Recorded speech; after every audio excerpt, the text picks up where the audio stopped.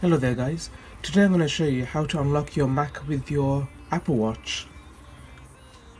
So all you got to do is go to system preference, so my one's just here,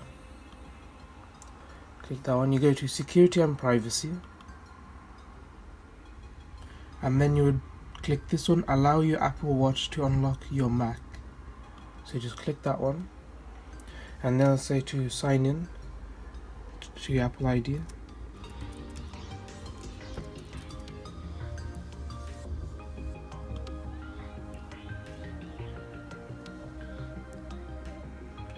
It says you have to turn on two-factor authentication to allow your Apple Watch to unlock your Mac.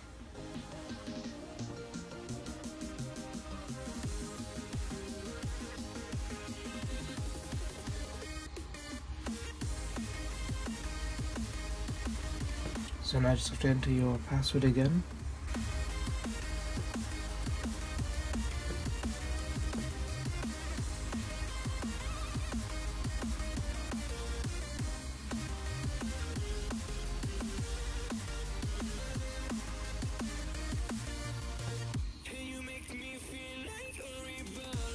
So you have to do is set up two-factor authentication here.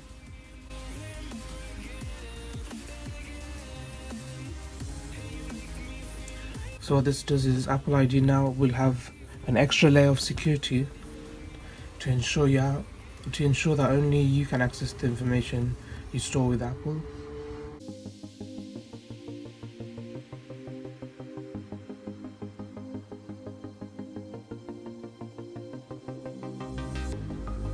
All you gotta do is now just press turn on anyway. So all is you just have to add a six digit verification code to end of your password on any device not using iOS 9 or Mac OS 10.11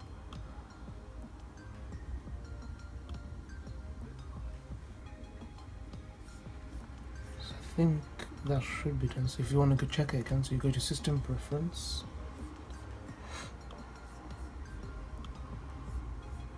Security and privacy allow so just type the password in again. Okay. So now it should work. There we go. Now it's saying turning on.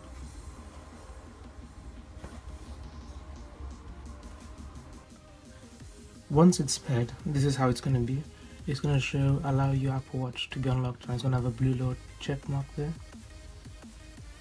So now if you want to test it out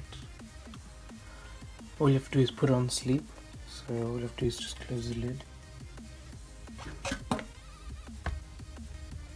And just have to wait two minutes on my one. So now when you open your Mac again now it should say unlocking there we go. Now it's been unlocked I see on your Apple Watch as well. And this only works if you put it on sleep. So if you first turn on you'd have to put your Mac's password on. And then when you put it on sleep that's when your Apple Watch will turn the Mac on again basically. So then you won't need your password. And that's how you set up. Thank you very much for watching. Please like share and subscribe.